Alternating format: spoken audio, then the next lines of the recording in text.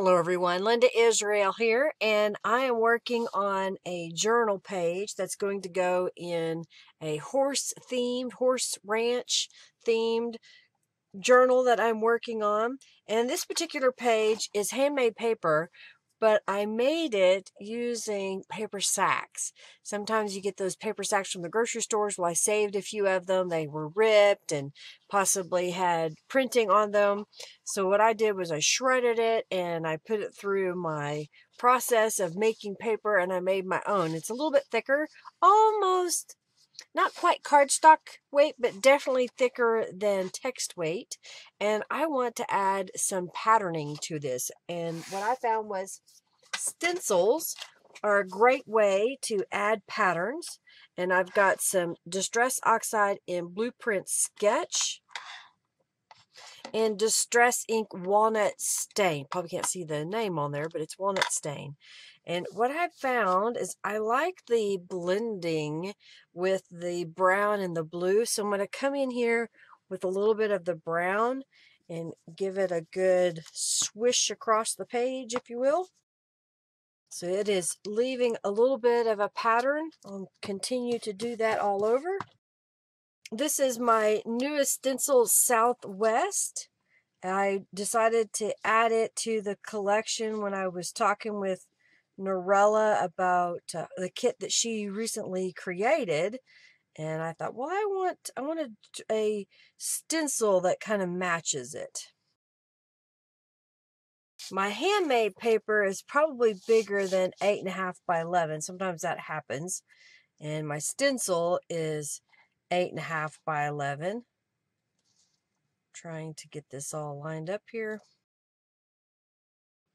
All right, so I've got the brown added. Now I'm going to come back and add some blue. So there is that pattern all over. I want to flip this over and I've got another stencil here. This one is from the April Stencil Club and continue on with the blueprint sketch. I'm just going to add a little bit of this patterning on the other side of the paper.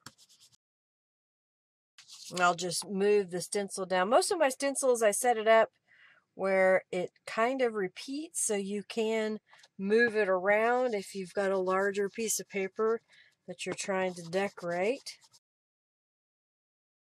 All right, so that got decorated on this side. So let me clean up a little bit turning it back over to the first side. Usually when I make my journal pages, I like to make them flat and then I'll go back and put them all together in my journal. So if you're looking for how this turns out in the end, keep watching. I'll have more videos coming out that'll show the finished journal.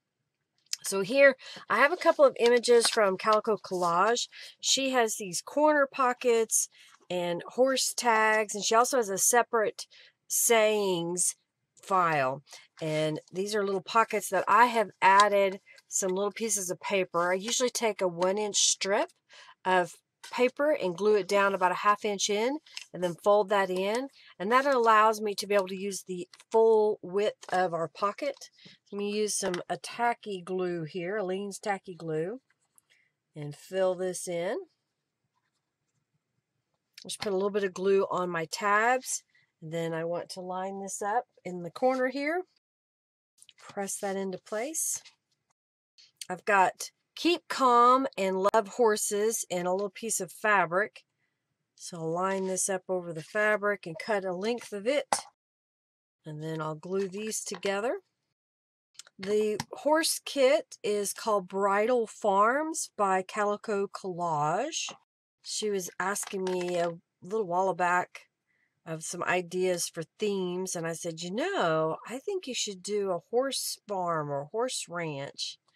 And gave her some suggestions. And she made this kit. I really like it. I think it's kind of pretty. I've been adding bling to a few things. So I'm going to grab some bling here. Let's put one right there.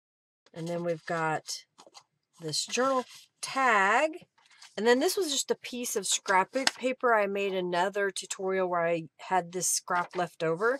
So I just applied some distress inks and I thought it would just be pretty to stuck it in the back there so you have additional writing space. Then on this side, I've got another one of these pockets, so I'll glue it down the same way I did the first one. I added little tabs to it. Position that in the corner here. And then Norella has a file of Polaroids with horses on them. So I thought this would be pretty as a pocket. So I'll glue down two sides here. Just put a little bit of glue on there. And then put it right here on top of the pocket. Let that dry for a moment. I have Rodeo of 1888, which is part of the Bridal Farms kit. And I want to trim this fabric and glue these together. We'll glue that down right here. I've got some more of this uh, rhinestones. I think I've already got one ready to go. It's a different size, so I'm just going to put one right here in the corner. And then I have a journal card that I made. This was some scrapbook paper I had left over on my desk. And then I had a book page that I stamped after I sprayed it with Tattered Angels. I stamped it with the wildflowers and then used one of Norella's images here, one of her words over the fabric. So we got a nice little journaling card right there. This journaling card comes in the Bridal Farms kit, so I thought it could go back here. And since we made this a pocket here, I've got a piece of cardstock that I've already cut to the right size. So I've got a rubber stamp. This is called Running Horse. So I've got some new rubber stamps in my shop. Running Horse is one of them. I'm using Archival Ink Jet Black. And we're going to stamp that right here. And while I have um, ink pad out, there was something I wanted to place on here. I've got the word lope that is from the, what is it? Ride, Walk, Ride Quartet. Walk, Lope, Trot, Ride. So I got Lope. Stamp that on a little scrap of paper. Trim that out. And I'll use some Distress inks around the edge. I had misplaced my purple fabric that I wanted to use. I got a little piece of purple fabric here.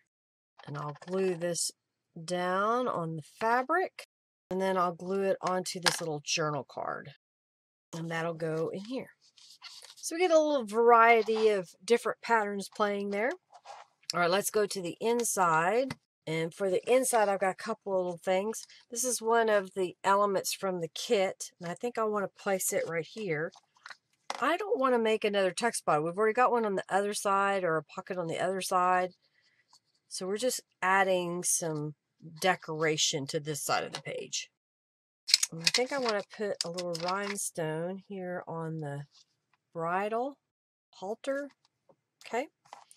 And I've got Let Life Surprise You. It's another rubber stamp.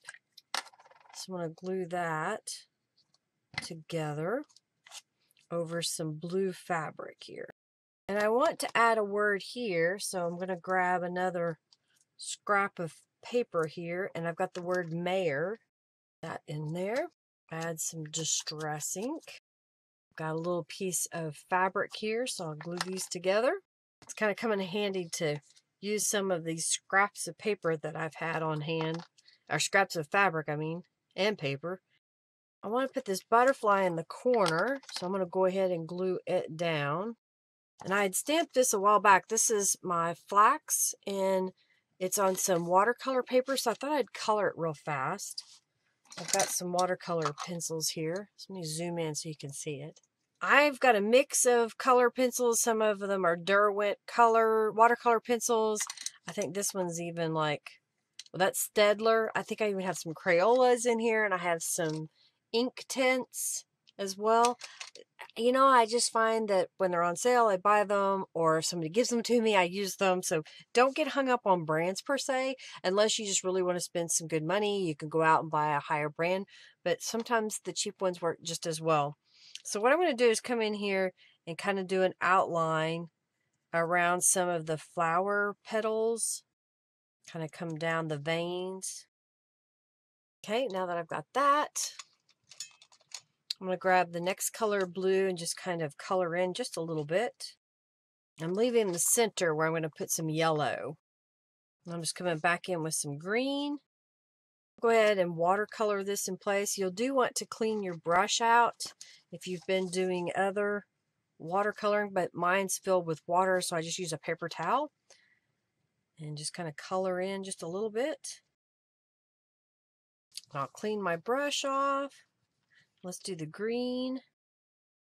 Clean my brush off. I'm going to come back and do yellow in the centers. My brush off again, put that away. All right, there is the flowers. So now I'm just going to take some Fiskars scissors and then go around and fussy cut this out.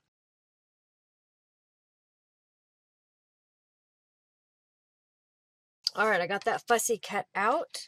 So now I'm going to use some Distress ink and go around the edges. I'll kind of touch it to the white areas in the middle. If I wanted to be really meticulous, I'd go in and cut all that out, but I think it looks okay with just a little bit of that in there. All right, so this piece I'm going to glue on my page here at the bottom. Make sure I don't get it in the spine, so I'll just kind of use my edge of the page to kind of show. And then we'll put Let Life Surprise You over this bottom portion, right about here.